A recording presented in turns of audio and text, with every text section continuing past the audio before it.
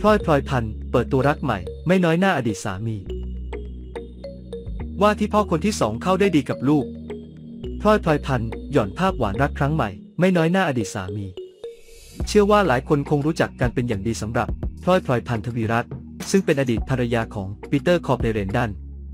แต่ปัจจุบันทั้งคู่ได้เลิกรากันไปแล้ว แต่ก็ยังคงทำหน้าที่พ่อและแม่ที่ดีของลูกชายสองคน น้องแพนเตอร์ และน้องพูม่า และเป็นที่ทราบกันดีว่าทางด้านพลอยพลอยพันธุ์นั้นเป็นคนดูแลลูกชายทั้งสองคน น้องพูม่าและน้องแพนเตอร์ เป็นส่วนใหญ่และจะมีบางครั้งที่อดีตสามีปีเตอร์ มาหาลูกๆ น้องพูม่าน้องแพนเตอร์ ซึ่งถือว่าเป็นมิตรภาพที่ดีของครอบครัวที่น่าเอาเป็นแบบอย่าง ซึ่งก่อนหน้านี้ปีเตอร์ก็ได้เปิดใจว่าเป็นข้อตกลงที่คุยกันไว้ตอนที่ยังไม่แยกกัน จะเจอโดยการที่นัดล่วงหน้า เพราะผมไม่ได้เจอทุกวัน ตอนนี้อย่างช่วงโควิด ผมทำงาน ต้องเจอคนเยอะผมก็ต้องระวังจะเว้น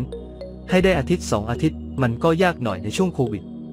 เพราะมีงานแทรกเข้ามาเรื่อยๆ แต่เราก็วิดีโอคอลกันตลอดต้องบอกว่า เราเจอกันเรื่อยๆอยู่แล้ว วันเกิดก็ปีละสองครั้งวันเกิดลูกชายและคนเล็ก ล่าสุดวันเกิดน้องภูมาก็จะมีการบันทึกภาพเป็นเรื่องปกติ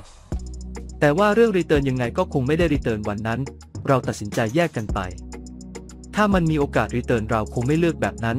ตั้งแต่แรกแต่ว่ามันแยกออกจากกันแล้ว เราก็ทำแต่สิ่งที่ดีที่สุด ให้กับลูกเราเจอกันตลอดครับ อีกทั้งไม่นานมานี้ปีเตอร์ก็ได้เปิดตัวหวานใจคนใหม่ด้าน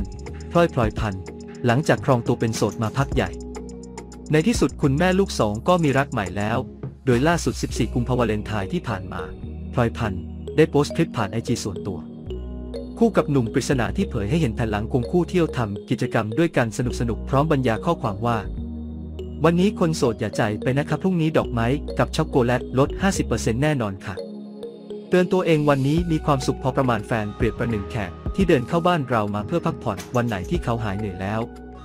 เขาย่อมสามารถเดินออกไปได้เสมอวันไทน์ท่ามกลางความยินดีของแฟนๆท่ามกลางแฟนๆเข้ามากดไลค์ร่วมยินดีกับอย่างมากมาย